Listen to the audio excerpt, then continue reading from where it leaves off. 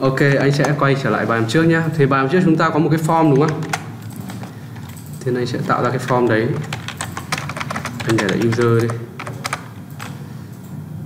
Index form user html này.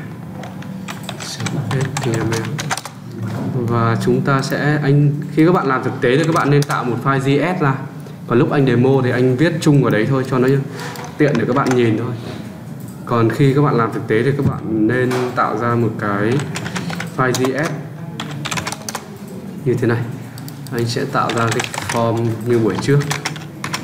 User management chúng ta sẽ làm trên cùng một trang nhé. Danh sách các thứ sẽ làm trên cùng một trang luôn. Thì chúng ta sẽ có một cái, anh sẽ có danh sách các inputs. User là full name.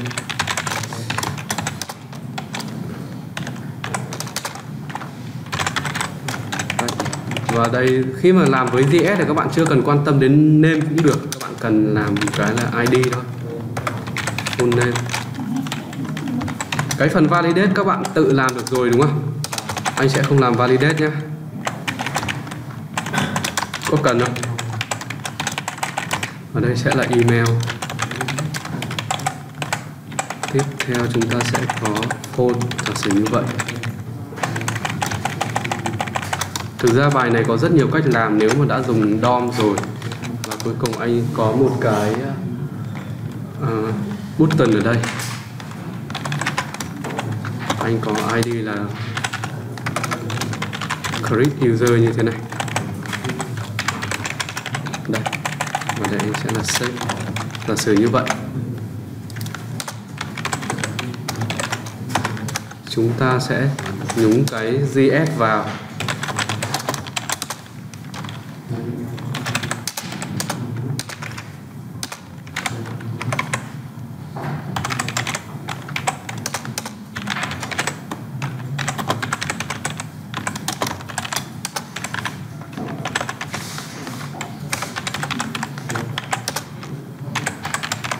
Chúng ta sẽ nhúng GS vào.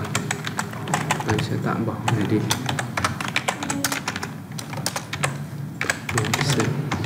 Anh sẽ chạy cái form này lên trước. Ok, chúng ta sẽ có cái form như thế này. Chỉnh đi một chút này.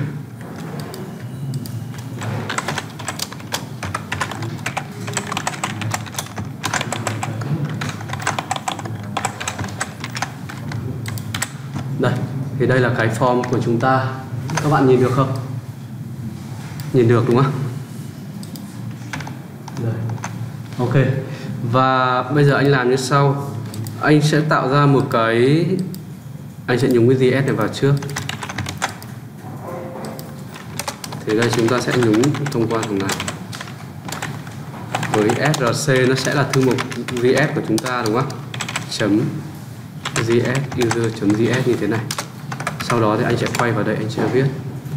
Thì đầu tiên anh sẽ viết cái sự kiện khi người dùng click vào nút set này thì anh sẽ lấy thông tin của các input được ra, đúng không? Thì các bạn cứ làm đúng từng bước như thế thôi là ok. Thì anh sẽ có một cái function ở trong này. Function ví dụ như là create user. Đây. Đó, chúng ta thử nhé. Thì chúng ta sẽ thử như thế này. Chúng ta sẽ viết một cái sự kiện là on click vào đây. Đây, ok chưa? Khi người dùng click vào thì anh sẽ tạo ra được các biến như là full name. Full name của nó sẽ bằng cái gì? Mình sẽ lấy luôn cái giá trị của input trên cái form đấy, đúng không? Thông qua cái gì các bạn? Mình mới, mình dùng JS thôi. Đây, thì anh sẽ có full name. Chấm value như thế này. Và tiếp tục anh sẽ có gì các bạn? Email. Chúng ta sẽ có email ở đây.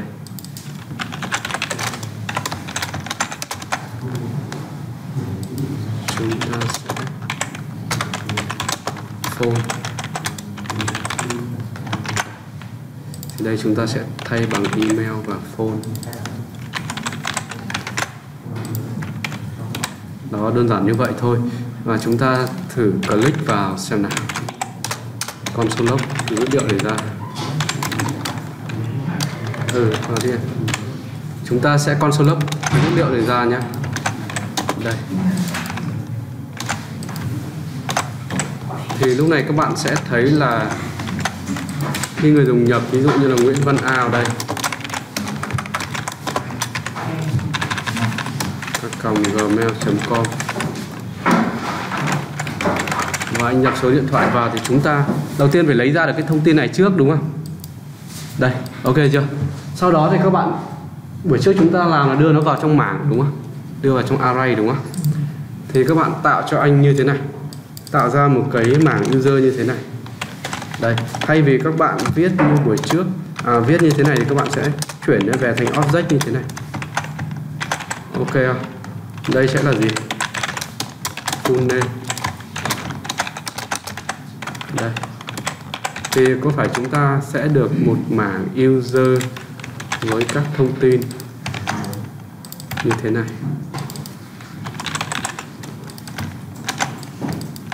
Đây. Đây. Được chưa? Ok chưa? Thì vấn đề là mỗi lần chúng ta thêm vào thì chúng ta sẽ tạo ra một cái biến let user có s như thế này. Nó là một array. Ok chưa? Để put một phân tử vào trong mảng, chúng ta sẽ dùng hàm gì? Chúng ta sẽ dùng hàm put, đúng không? Sẽ là tên của cái array đó, chấm put, đúng không? Đơn giản như vậy thôi. Chấm put và chúng ta truyền cái user vào. Đây. được chưa? Và đồng thời chúng ta, sau khi put vào thì chúng ta sẽ đủ dữ liệu ra bên ngoài này. Anh giả sử anh sẽ tạo ra một cái trang danh sách ở bên ngoài này.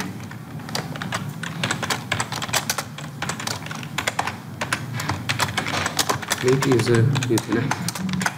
Anh chạy nó lên. Thì ở bên ngoài này, anh cần sâu ra list user ở ngoài này, mỗi lần người dùng tạo mới. Được chưa? Thì anh sẽ để nó ra thôi. Chúng ta sẽ đủ qua một thẻ kết quả đi. Anh để id là list user như thế này. Đây, để chúng ta biết đây sẽ là nơi chứa cái danh sách user của mình. Ok chưa? Thì chúng ta sẽ đủ, có rất nhiều cách nhé buổi trước chúng ta đang làm như thế nào các bạn? Chúng ta đang duyệt cái mảng này thông qua hàm gì các bạn? Thông qua hàm này đúng không? Mỗi lần chúng ta duyệt mảng, và đây là cú pháp này, đây là cú pháp của thằng ES6 này. mỗi lần duyệt được thì chúng ta lấy một, được một cái item đúng không? Một cái item của mảng này. Thì ở đây các bạn có thể tối ưu code ở đây thay vì phải khai báo biến như thế này nữa. Thì các bạn viết như thế này cho nhanh. Đây ok chưa? Thì tối ưu hơn và mỗi lần chúng ta duyệt nhiều user danh sách user thì chúng ta lấy ra được một user.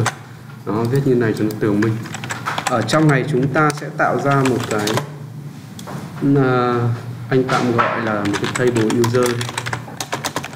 Nó sẽ có giá trị là rỗng ban đầu như thế này. Được chưa?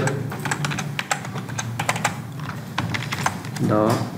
Thì ở bên ngoài này anh sẽ làm như thế này trước. Anh sẽ có table với border là một này. Width anh để khoảng 600 500 và anh sẽ có tr td ví dụ đây sẽ là full name. Full name. Sau đó đây sẽ là gì? Email này. Rồi là phone. Phone. Đây ok chưa? Và chúng ta sẽ buổi trước anh có nói hàm append không nhỉ? Chưa chưa đúng không? Chưa ok sang jQuery chúng ta sẽ nói luôn về hàm này. Thế thì anh sẽ tạo tạm một cái một cái thẻ div ở trong này. Nó sẽ không không được chuẩn lắm nhưng mà thôi không sao chúng ta sẽ tạo nó ở trong này. Như thế này. Đây. thì mỗi lần anh duyệt cái mảng này, thì anh sẽ lấy ra được cái list user. HTML như thế này. Mỗi lần anh duyệt thì có phải là các bạn sẽ gọi đến biến này nối chuỗi? Cộng bằng là nối chuỗi, đúng không? Và anh sẽ truyền vào đây là gì? Mỗi user này chúng ta đưa nó vào trong một hàng thì nó sẽ có thẻ tr có đúng không? Và mỗi thông tin của user thì nó sẽ nằm trong td nó thể hiện là cột. Đây, thì ví dụ chúng ta có td như thế này. Td. các bạn dùng cái dấu nháy này đấy nó khác dấu nháy này đấy. Nhớ chưa?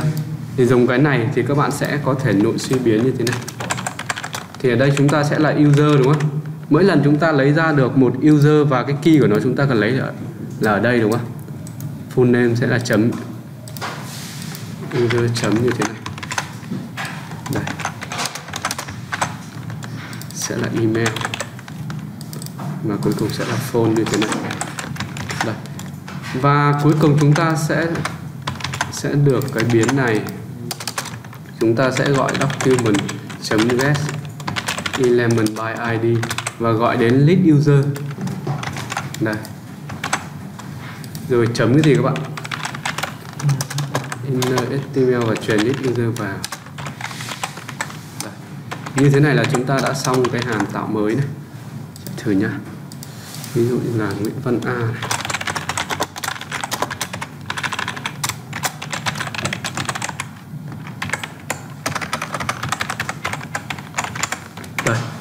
Chúng ta thử này. Ừ. các bạn biết vì sao không? bởi vì cái này nó nằm ở trong thẻ deep. Nó nằm trong deep mà như thế này nó sẽ bị vỡ cấu trúc của bảng. Thì chúng ta sẽ xử lý là anh sẽ để một cái ID là list user bằng chính nick table này luôn. Như thế này, có rất nhiều cách để làm. Đây, và anh sẽ dùng luôn để mà thay thế cái content của thằng table này. Như thế này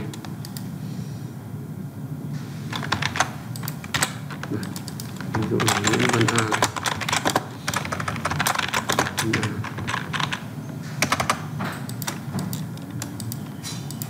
đó kiểu kiểu như vậy. Thì các bạn có thể xử lý là khi nào mà thực sự có dữ liệu thì mình mới hiển thị cái bảng này lên. Đại loại vậy. Đây. Thì ở đây nếu các bạn muốn xử lý cái phần phần này, ở trên này như thế này thì các bạn có thể làm tr này. Đây, đưa toàn bộ cái phần này vào thì các bạn có thể khai báo ngay từ ban đầu như thế này.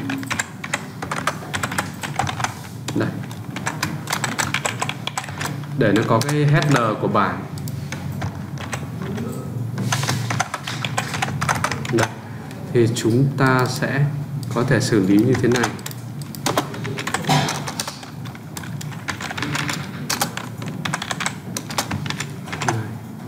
Đây là cái table ban đầu vào, chưa có gì này. Ok chưa? Thậm chí là nó sẽ như thế này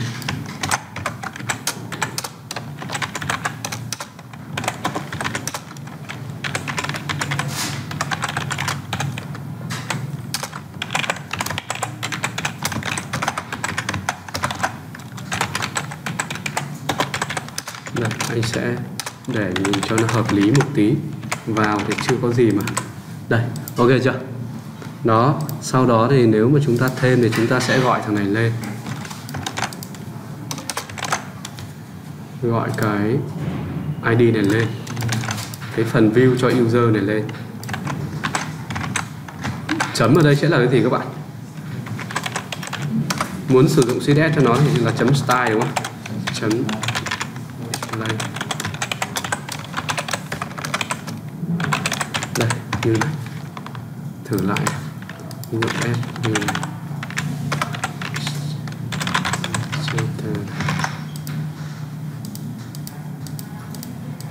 đó, thì chúng ta sẽ thêm nó lên như thế này. Được chưa? Bây giờ vấn đề cái thứ hai này, nếu chúng ta thêm một cái ông Nguyễn Văn A vào nữa này. Nguyễn Văn A. Anh thêm một cái admin info như này. Thì nó sẽ bị thay thế cái này đúng không? Vấn đề của chúng ta đang gặp phải là như vậy. Tại sao lại như vậy các bạn? Tại vì là mỗi lần chúng ta gọi vào đây, chúng ta chỉ nhận được một cái biến này. Đúng không? Một cái giá trị này. Và cái biến này bắt đầu lại khởi tạo lại từ đầu. Có đúng không? Thì nó sẽ ghi đè lại toàn bộ cái trước đấy. Nên là chúng ta sẽ luôn luôn chỉ có một cái. Thì để giải quyết bài này thì như anh thấy của em là có làm rồi, của anh là làm rồi, đúng không? Đúng rồi. là các bạn có rất nhiều cách. Một là các bạn sẽ xử lý bằng DOM để có thể đưa thêm nội dung vào trong này mà không cần phải xử lý, mà không cần phải dùng array, thì làm thế nào để có thể làm được việc đấy? Thì mỗi lần các bạn nhấn save, các bạn sẽ đi kiểm tra cái hàm chấm inner html của thằng body này này. Nếu mà nó có content, thì các bạn sẽ insert thêm vào. Còn nếu không có content thì các bạn sẽ sẽ ghi đề kiểu như vậy có hiểu không? Thì ban đầu có phải là cái thẻ này lốt lên thì nếu mà là chấm inner html thì thằng này sẽ không có giá trị không? Còn nhớ hàm inner html của thằng JavaScript không? Lấy nội dung của thẻ html đúng không? Thì thẻ body ở đây đang trống mà. Đúng không? Thì có phải là từ lần thứ hai trở đi. Đây nhá, ban đầu thẻ body trống này. Thẻ body toàn bộ cái content ở trong này là trống. À sorry, thẻ table list user này đúng không? Đó, còn từ lần thứ hai trở đi thì rõ ràng là nó có giá trị ở đây như thế này. Đây, có phải như này không? Thì các bạn chỉ cần kiểm tra nếu có giá trị thì mình sẽ không ghi đè nữa. Kiểu vậy. Ok chưa? Còn cách thứ hai đó là chúng ta có thể sử dụng cái hàm storage nó là kiểu lưu trữ ở trong JavaScript. Thì trước khi anh làm tiếp cái phần user này thì anh nói qua về hàm storage. Anh sẽ có một ví dụ ở đây về hàm storage.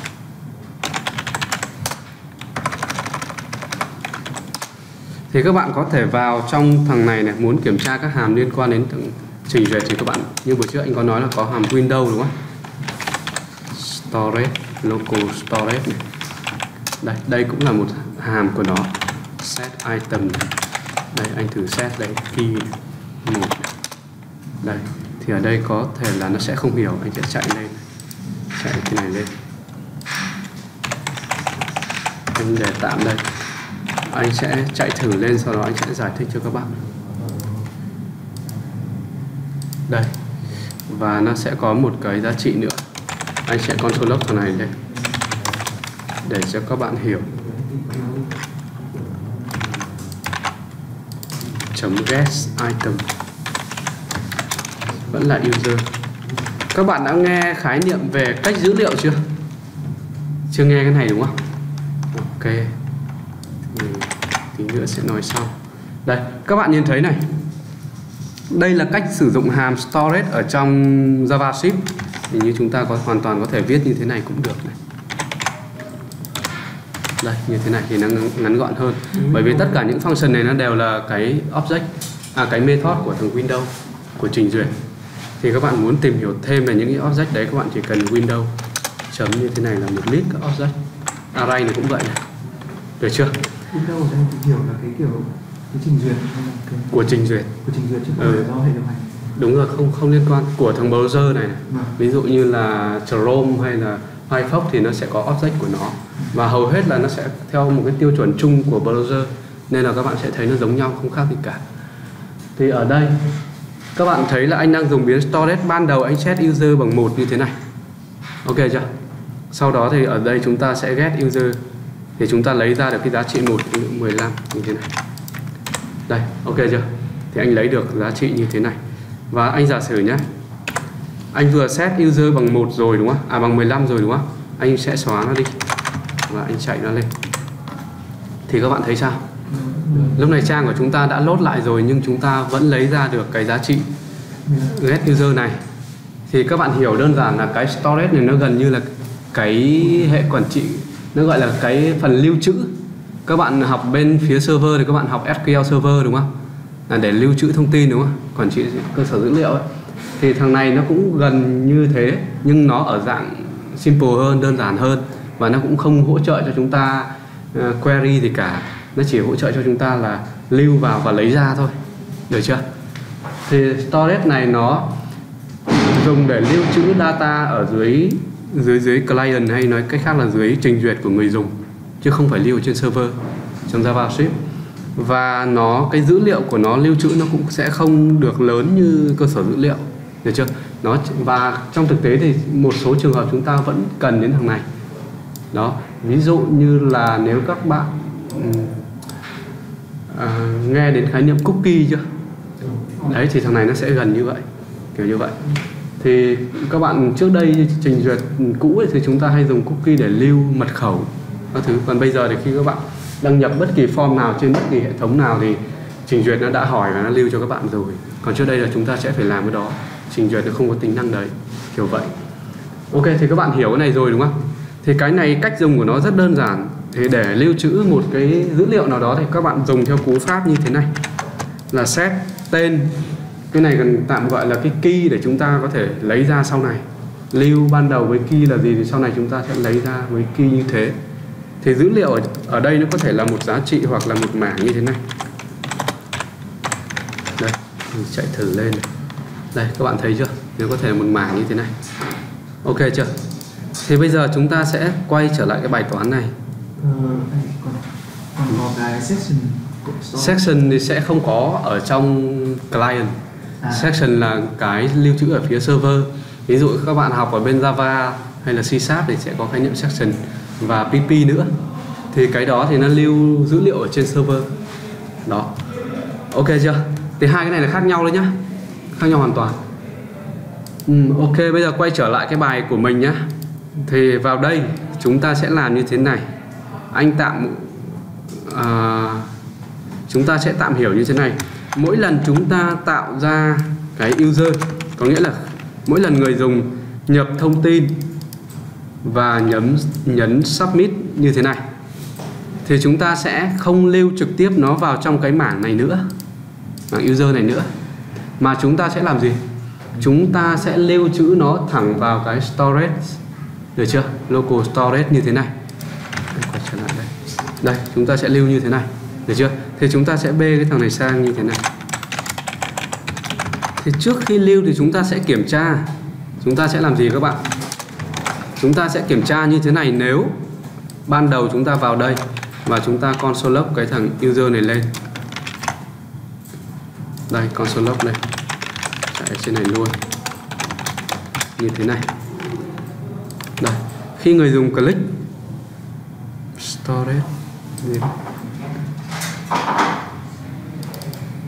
À đây là get sorry các bạn. Get item. Khi người dùng click vào form, thì chúng ta sẽ kiểm tra xem là cái get item này có giá trị hay không. Anh sẽ tạm thời anh xóa nó đi. Xóa đi thì có rất nhiều cách. Chúng ta sẽ clear nó đi. Storage đâu nhỉ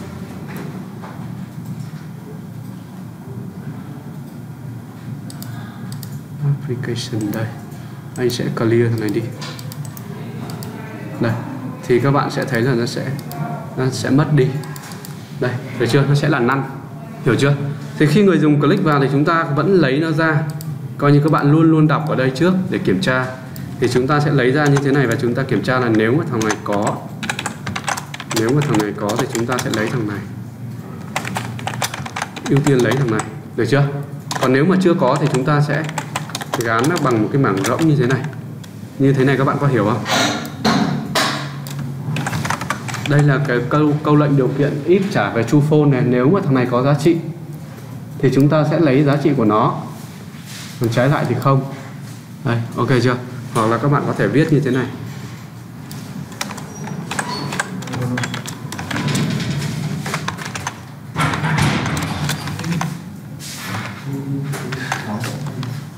Là chúng ta. Câu chính lắp như thế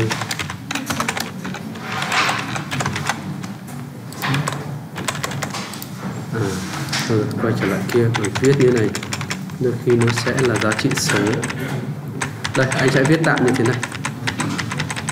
Đây. nếu có thì chúng ta sẽ lấy từ storage trái lại thì không. Trái lại thì chúng ta sẽ lấy nó là một cái mảng như thế này. Được chưa? Ok chưa? Thì các bạn sẽ làm như sau. Thay vì các bạn put dữ liệu ở thằng user như thế này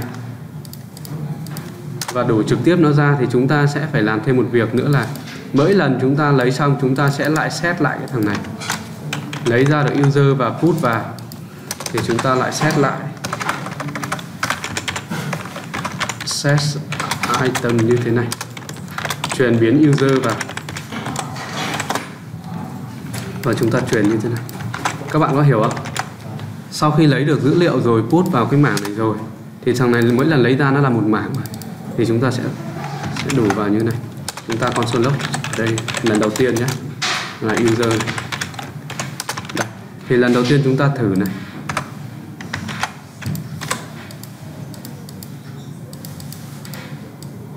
Thì ban đầu nó chưa có gì, đúng không? Thì nó gán thành cái biến này thì nó gắn thành cái mảng rỗng như thế này. Ok chưa? Lần đầu tiên. Còn lần thứ hai trở đi. Lần thứ hai trở đi thì nó phải như thế này. Mới đúng. Ví dụ như ở đây. Chúng ta lưu là Nguyễn Văn A. Văn A. Nó và chúng ta thay đổi số điện thoại. Thì như vậy. Thì chúng ta sẽ lấy ra được một cái object ở đây. User push ừ, trả về một object. Chúng ta sẽ xem cái giá trị mà chúng ta lấy được ở đây. Nó là một object như thế này. Đây.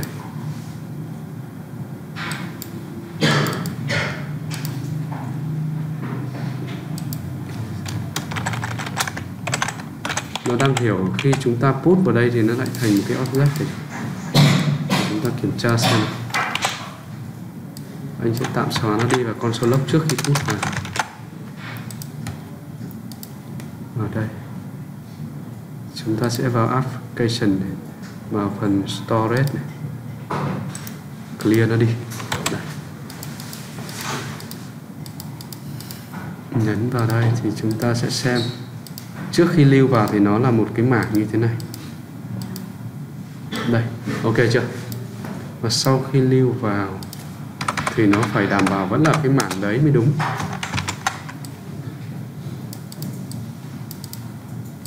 Chúng sẽ set string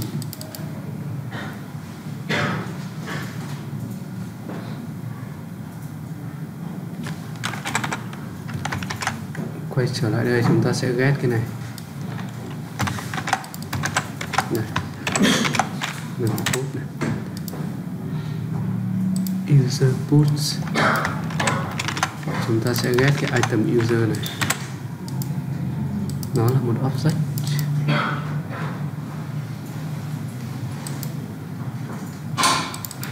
Nó là một object. Như thế này thì không được.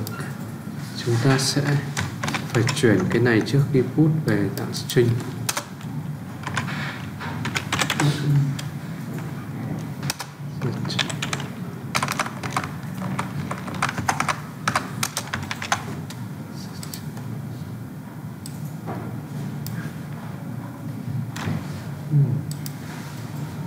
Để ta test thử cái Windows này xem. Windows.storage này. Location storage chấm set. Ở đây thì nó sẽ không hiểu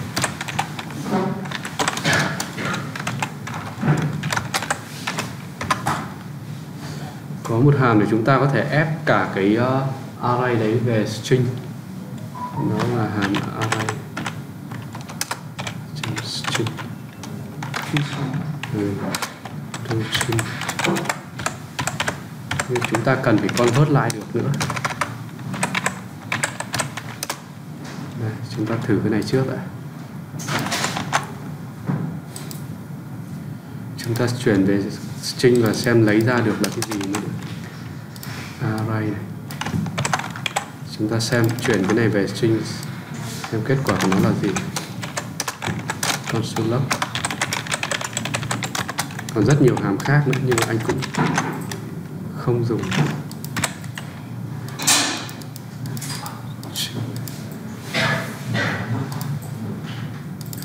Tạm thời bỏ put đi, vì nó đang có dữ liệu. Thì ở đây chúng ta sẽ default ban đầu để xem convert ra làm sao quay lại đây.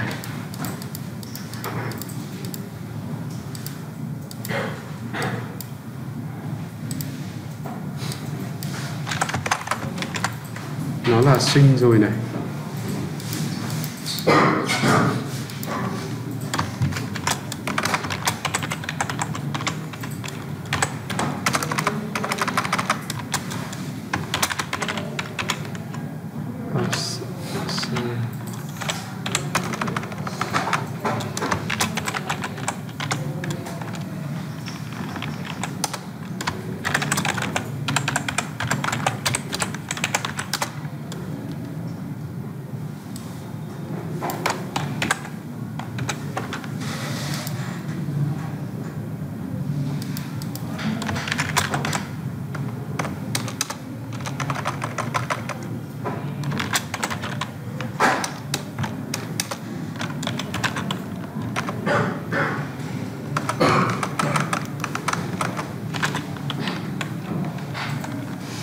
chúng ta có rất nhiều hàm tạt sơ ở đây nhưng mà không thấy có trường hợp. Ở đây nó lại là parser object sang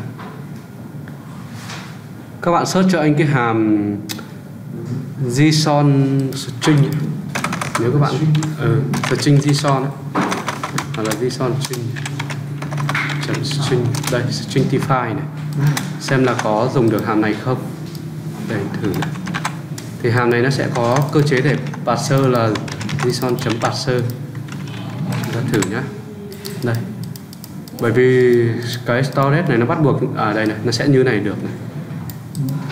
Đây ok như này. Nhưng mà chúng ta cần gắn lại đây xem nào. List user. Này Let list user. Nếu mà chúng ta đã ép kiểu để chúng ta phải convert lại được thì mới ok thì tạm thời chúng ta sẽ chuyển thẳng vào đây như thế này. Chúng ta sẽ hút thẳng cái dữ liệu của thằng user này vào trong storage trước. Như thế này đã. Đây, chỗ này các bạn hiểu không? Bây giờ chúng ta thử nhé sau đó chúng ta sẽ đọc cái storage kia và ép kiểu lại. Đây.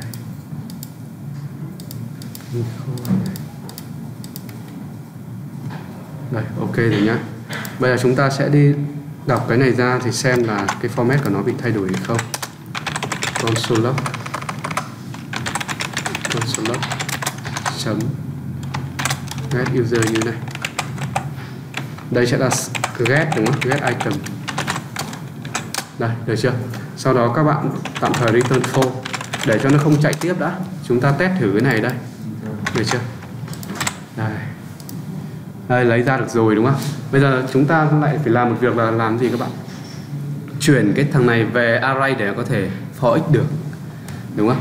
Thì ở trong đây nó sẽ dùng cái hàm là json parser như thế này. Đây, như thế này là sẽ được thử nhá. Thì lúc này cả cái này nó là string, đúng không? Chúng ta sẽ parser thằng này ra như thế này. Và console log lên xem có phải là array không. Nếu không được thì phải dùng hàm khác đây, chúng ta thử này.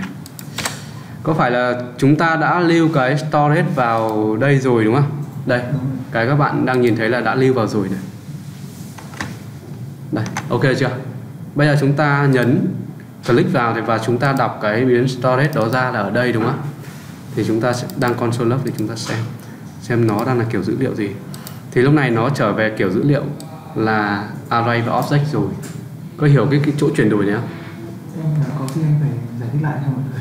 Ờ, thì anh viết hoàn chỉnh sau đó anh sẽ giải thích nhé Thì quay trở lại đây này. Anh sẽ tạm thời bỏ ở đây. Chúng ta vẫn làm một việc đó là Khi người dùng click vào submit ở đây Đúng không? Thì chúng ta sẽ phải làm gì? Đầu tiên chúng ta sẽ phải đi kiểm tra ở trong cái thằng storage trong cái trong trong cái phần lưu trữ của trình duyệt này này xem có cái nào có key là user hay không. Xem có cái phần lưu trữ nào với cái key là user hay không. Thì để lấy được cái đó thì chúng ta, thì chúng ta lấy thông qua cái biến location storage get user như thế này. Như thế này, được chưa? Nếu mà trình duyệt nó có thì nó sẽ trả về cái dữ liệu mà chúng ta đang lưu trữ. Còn nếu mà không thì nó sẽ trả về năn trả về eh, null ấy, được chưa? Thì anh sẽ console log này ra để các bạn hiểu chỗ này này. Console log đây. Anh sẽ tạm thời return false đây. Thì giả sử nhá, khi mà chúng ta chưa có gì này, anh xóa hết đi. Đây, khi người dùng click vào, thì nó sẽ lấy ra cái storage đó. Thì các bạn nhìn thấy nó sẽ là năn như thế này. Đây được chưa? Còn nếu mà người dùng đã lưu trữ rồi thì anh sẽ làm như sau này. Anh đang nói cái chỗ lấy ra này. Nếu khi người dùng click vào lấy ra nếu mà năn thì mình sẽ không gắn giá trị cho thằng này là năn mà chúng ta sẽ làm như thế này. Đây có nghĩa là biến nó thành một cái array. Còn nếu mà thằng này có giá trị thì mình sẽ gán giá trị cho nó ở chỗ này. Các bạn có hiểu không? Đây này chính là cái if này này. Viết như này cho dễ này. Nếu mà thằng này có giá trị. Được chưa? Thì anh sẽ gán user bằng chính nó. Đây. Ok chưa? Trái lại thì sao? Trái lại thì anh sẽ gán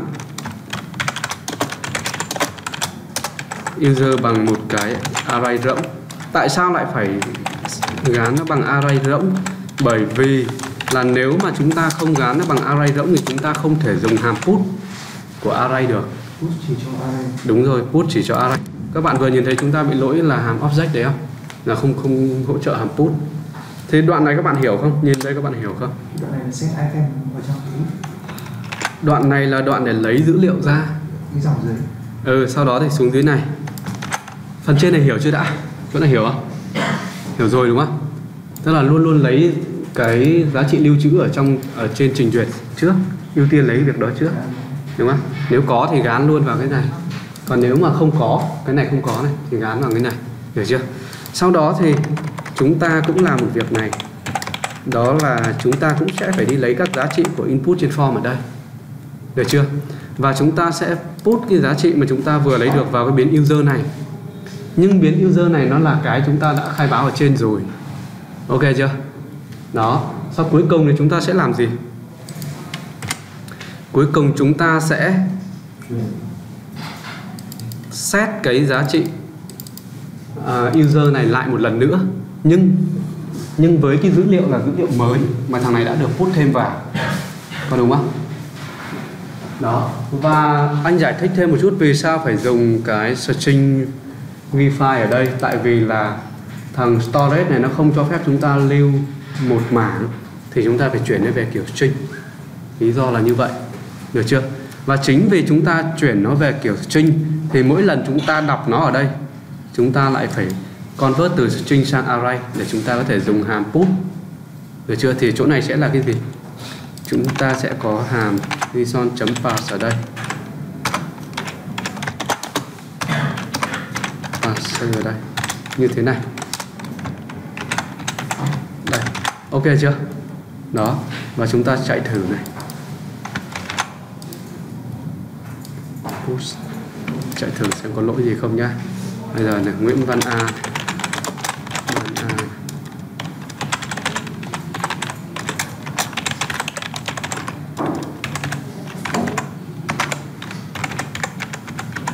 Này, thì lần lưu đầu tiên đúng không?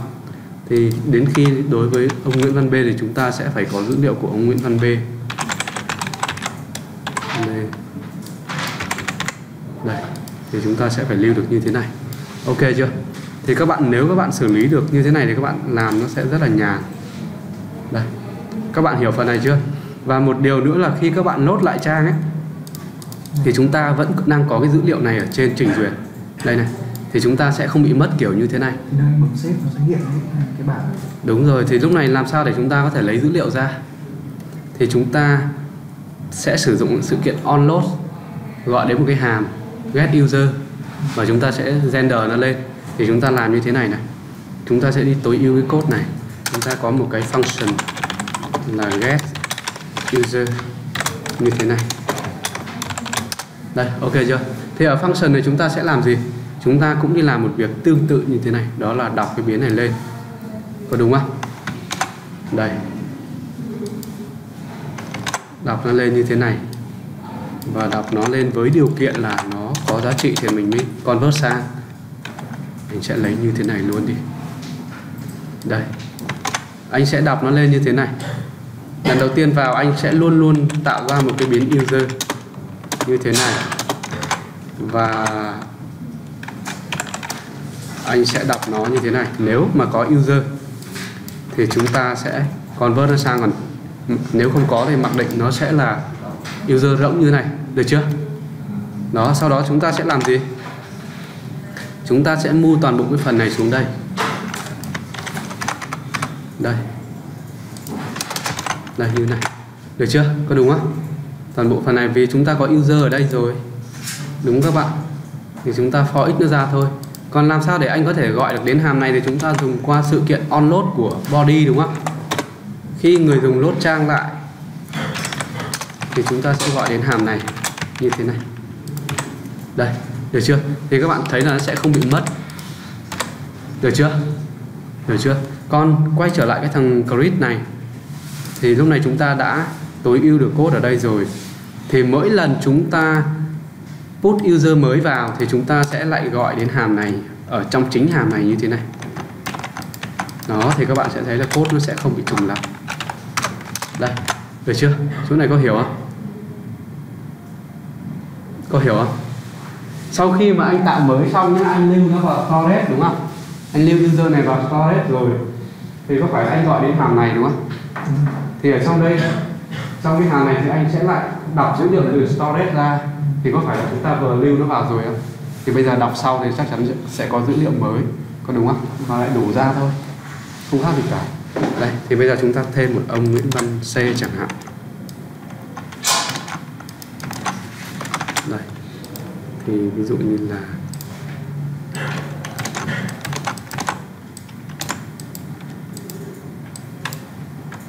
đây, thì nó sẽ thêm vào như thế này. Và đảm bảo dữ liệu sẽ không bị mất trừ khi các bạn xóa dữ liệu ở đây. Kiểu như vậy. Vào đây clear. Hoặc là clear cách, hoặc là xóa history ở đây này. thì chắc chắn là sẽ mất hết. Được chưa? Các bạn có có hiểu cái phần này không? Còn xóa thì sao? Nếu muốn xóa thì sao? Thì cũng đơn giản thôi. Các bạn thấy là có cần anh làm chức năng xóa không? Anh sẽ viết đủ luôn nhá. Thành mấy cái function này. Thì ở đây anh sẽ có một cái function xóa ở đây như thế này function delete delete user như thế này delete user đây. Như thế này ok chưa? Thì chúng ta thông tin user của chúng ta hiện tại là không có gì cả. Ví dụ như các bạn làm với cơ sở dữ liệu ấy, thì nó có ID đúng không? Nó có code hoặc là có một cái gì đó để làm khóa chính. Có đúng các bạn? Nhưng ở đây chúng ta đang không có gì tuy nhiên chúng ta vẫn có một cái dựa ở đó để làm khóa chính được. Các bạn biết là cái gì không? Không phải. Nó chính là uh, index đúng rồi index của cái cái mảng này. Vì các bạn biết là cái index thì không bao giờ được phép trùng nhau mà. Đúng không? Thì chúng ta sẽ dựa vào đây để làm. Thì chúng ta sẽ làm như sau này. Vậy thì mỗi anh sẽ tạo ra một cái uh, cột ở đây là delete nhé. Đây anh sẽ tạo một cái cột đây là delete như thế này. Đây. Và trên này header chúng ta sẽ có phần action như thế này. Action đây. Thì chúng ta sẽ có thêm một cái cột delete ở đây. Thì có nghĩa là mỗi lần chúng ta click vào delete chúng ta sẽ gọi đến hàm này. Ok chưa? Thì chúng ta sẽ viết nó ở đây như thế này các bạn. Sẽ là sự, sự kiện gì các bạn?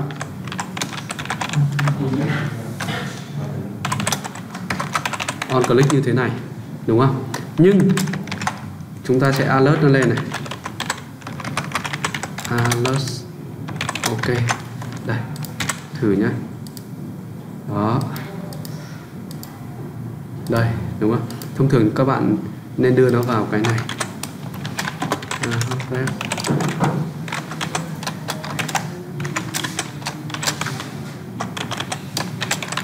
đây như thế này chưa? Nhưng vấn đề của chúng ta là mỗi lần chúng ta click vào đây, chúng ta cần phải truyền được cái, gọi là cái key của cái user này đi, để chúng ta xóa, xác định là xóa cái key đó ở trong mảng là key nào. Có đúng không? Đây này. Thì chúng ta cần phải truyền nó đi. Đây, chúng ta cần xác định xóa key nào. Được chưa? Thì chúng ta muốn đưa key vào đây thì đơn giản thôi. Các bạn, khi các bạn for x cái mảng user này, chúng ta vừa lấy được item và vừa lấy được key như thế này cái tên này các bạn có thể tự đặt nhé. Đây anh để lại index cho nó tường minh thôi. Sau đó chúng ta sẽ truyền dữ liệu vào như thế này. Đây, được chưa? Thì hàm này có nghĩa là nó sẽ có tham số truyền vào. Anh tạm gọi là user id đi. Đây được chưa? Thì mỗi lần anh truyền vào thì anh sẽ lấy ra được cái user id như thế này. Ban đầu thằng này có đúng là bằng không không? Nguyễn Văn A là không đây này. Đây được chưa? Nguyễn Văn B là một, là Nguyễn Văn C là bao nhiêu đó, kiểu như thế này. Được chưa? Sau đó chúng ta sẽ thực hiện công việc xóa ở đây. Thế để xóa được cái này thì chúng ta cũng phải, chúng ta lại phải đọc lại cái storage này ra để xóa, đúng không? Sau đó lại ghi đè lại cái storage hiện tại. Thì chúng ta làm như sau này. Thì chúng ta cũng phải thực hiện công việc này, đó là storage ra như thế này. Đây mỗi lần chúng ta làm, chúng ta lại phải làm việc này. Get storage ra storage ra và chúng ta sẽ chuyển nó về mảng. Như thế này. Đây. Ví dụ nhé chúng ta click xóa này. Thì có phải là chúng ta lấy được cái storage user này ra rồi, đúng không? Chúng ta delete cái này thôi, có rất nhiều cách để có thể delete cái này. Thì các bạn có thể dùng hàm slide hoặc là các bạn đi duyệt mảng này và kiểm tra như thế này anh sẽ dùng duyệt đi cho dễ. Dùng slide ngắn gọn hơn nhưng nó sẽ xảy ra một cái lỗi phổ biến ở trong thằng GS thì lát nữa anh sẽ nói. Đây, anh sẽ đi duyệt lại cái user này. Mỗi lần anh lấy được index như này, được chưa? Anh tạo ra một cái biến new user. Viết nó hơi dườm già một tí nhưng mà các bạn hiểu từng cái bước của nó. Ban đầu phải làm một mảng như này. Ok chưa? Đó.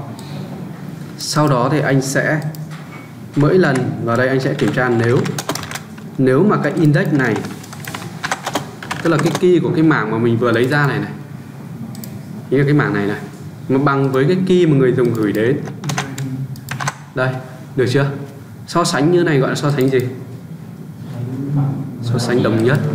Đúng rồi. Đây, thì chúng ta sẽ thực hiện công việc là xóa. Console log đây để các bạn biết là chúng ta đã vào đây hay chưa thử nhé. nếu mà xóa thằng, đây, delete đúng không? Bây giờ chúng ta sẽ thực hiện xóa nó. Thì các bạn chỉ cần như thế này thôi. Chúng ta sẽ lấy ra những thằng khác như này. Được chưa? Có hiểu không? Và chúng ta sẽ, mỗi lần khác thì chúng ta sẽ làm việc này. Nó là chấm push. Để chúng ta chỉ lấy ra những thằng mà không phải là thằng bị xóa, kiểu như này. Ok không? Thôi, console log lại là console log lại cái này. Console log lại. Thì có phải sau khi xóa xong chúng ta chỉ còn hai user đúng không? Đây thử này. Thì xong pp cái cách làm cũng tương tự như này. Các bạn nhìn thấy là chúng ta chỉ còn lại hai user là thằng a và thằng thằng c. Đây. Tại vì là chúng ta chưa render lại nên là vẫn như thấy ở trên này. Nhưng thực tế là vẫn chỉ còn hai thằng này thôi. Và chúng ta cần làm một việc là bây giờ lấy hai thằng này đi ghi đè lại cái dữ liệu của thằng này hiểu không? Đây, thì nó sẽ như thế này. Thì nó sẽ quay trở lại đây. Chúng ta sẽ lại put nó vào như thế này. Đây, set nó lại như thế này. Đây, với cái biến là new. User ok chưa? Sau đó chúng ta lại gọi đến hàm này để chúng ta hiển thị lại cái danh sách user đang có như thế này. Đây, được chưa? Thử nhá, bây giờ chúng ta thử xóa này. đó. Thấy chưa? Hiểu cái này chưa? Đó, xóa hết. Ok. Đây, như thế này. Được chưa? Thì đây là một cái ví dụ đơn giản để anh giúp các bạn hiểu về cái cách làm một trang, gọi là một trang quản lý, thêm sửa xóa ở mức độ đơn giản như này. Ok chưa? Thì có lẽ là bài này anh sẽ không làm tiếp nữa. Để cho các bạn hãy về làm lại cái bài này cho anh và làm cho anh chức năng sửa. Nếu sửa thì sao? Sửa thì các bạn nhớ lại cho anh là để ghi đè một phần tử ở trong mảng ấy. Chúng ta chỉ cần gọi lại và set cái key của nó giống nhau thì nó sẽ override lại cái phần tử đấy. Có nhớ không? Thì các bạn về làm sau đó, buổi sau nếu cần thì anh sẽ chữa. Hôm nay chúng ta sẽ chuyển sang phần